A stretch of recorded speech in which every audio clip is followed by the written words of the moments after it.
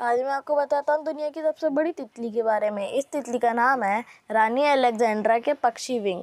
ये तितली केवल न्यू गिनी के द्वीप में पाई जाती है। ये इतनी दुर्लभ है कि इनका नाम अंतर्राष्ट्रीय रेड बुक की सूची में शामिल है। इस तितली का पंख 27 सेंटीमीटर तक होता है। इस तितली की खोज 1907 में रॉथस्चाइल्ड ने की थी। इस तितली का नाम रॉथस्चाइल्ड ने ही अलेक्जेंड्रा के राजा एडवर्ड सप्तम की पत्नी के सम्मान में रखा था। यह फैक्ट आपको अच्छा लगा हो तो इस वीडियो को लाइक करके हमारे चैनल फैक्ट डोनेशन को सब्सक्राइब करें। जय हिंद।